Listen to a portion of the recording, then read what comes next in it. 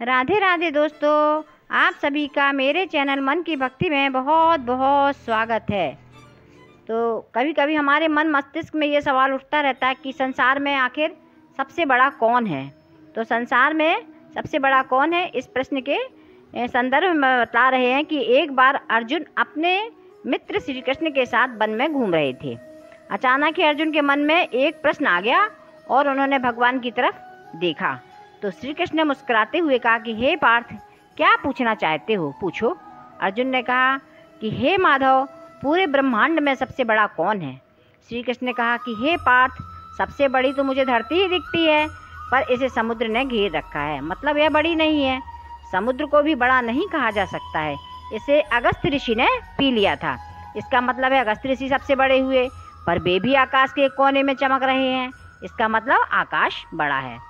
पर उस आकाश को भी मेरे बामन अवतार ने अपने एक पग में नाप लिया था।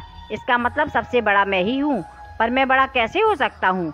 क्योंकि मैं अपने भक्तों के हृदय में वास करता हूँ, अर्थात सबसे बड़ा मेरा भक्त है।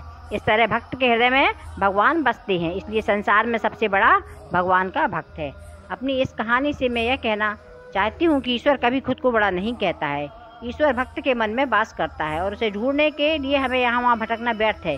ईश्वर की चाह में मनुष्य को उसका स्थान देना गलत है। भगवा चोले के भीतर भगवान के दर्शन की इच्छा गलत है। ईश्वर सभी के भीतर है। अपने कर्मों को सदमार्ग पर ले जाना ही ईश्वर की भक्ति है और उसकी चाह में खुद को धोखा देना ईश्वर को धोखा देने के बराबर है।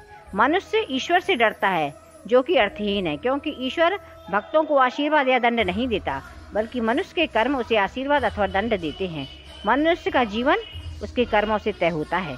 ईश्वर मनुष्य का मार्ग नहीं बनाता है। मनुष्य को अच्छे बुरे का विचार खुद करना होता है और अगर प्रत्येक मनुष्य परहित का विचार करे तो वह कभी गलत नहीं होगा। आज के समय में मनुष्य भेड़ चाल का हिस्सा होता जा रहा है। देखता है कि यदि कोई व्यक्ति कहीं जा रहा है, किसी को मानता है तो उसी के पीछे वो भी चल देता है। किसी भी व्यक्ति को संत का चूल्हा पहन के देखकर उसका अनन्य भक्त बन जाता है और उसकी वास्तविकता को नहीं जानता है और उसी की राय को और उसी के जीवन को अपना जीवन बना लेता है। इस तरह हमारे देश में कई तरह के देशद्रोही आ रहे हैं और सच के सामने आने से कई लाखों लोगों का जीवन आधारहीन होता जा रहा है और अविश्वास उनके जीवन पर छा जाता है और अंधविश्वास की भी परत उनके ऊपर आ जाती है। देश के लिए सभी को जगाने की ज़रूरत है। ईश्वर के रूप को सही तरह से समझने की ज़रूरत है। यदि आपको मेरी कहानी कैसी लगी है तो आप हमें कमेंट बॉक्स में लिख सकती हैं। आप और हमारे चैनल को सब्सक्राइब कर सकती हैं। धन्यवाद।